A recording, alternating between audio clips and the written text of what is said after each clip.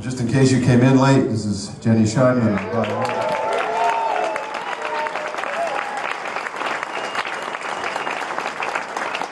Gary Craig on drums.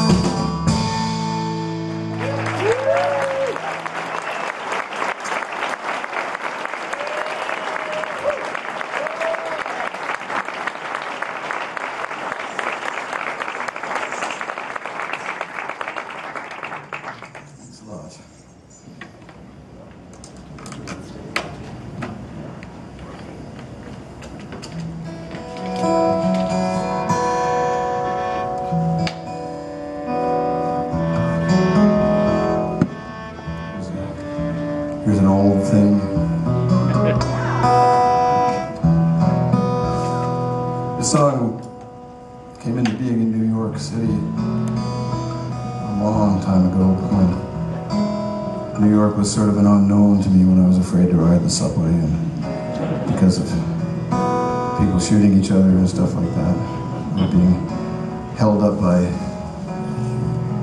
teenagers.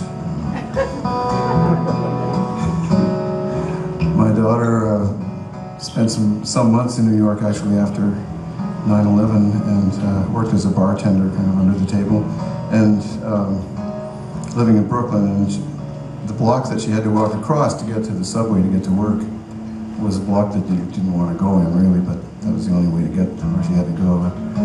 One night she was accosted, uh, it was Halloween actually and she had her hair done up like Medusa with snakes and things, right? All of a sudden there's this little bunch of like seven-year-old kids are surrounding her. They're like, what's that? What's that? They got all, they got their hands in their pockets in their baggy clothes, right? They're all packing. And she, one of them recognized her, so she got out of it okay. I said, hey, wait a minute, I know her. She lives down the street. She's all right. But there she was getting mugged by seven-year-olds. So that, but that's a recent, well, you know, that, this, this song, I'm much older than that. When, when I didn't know that New York was that benign yet. I didn't have to worry about seven-year-olds.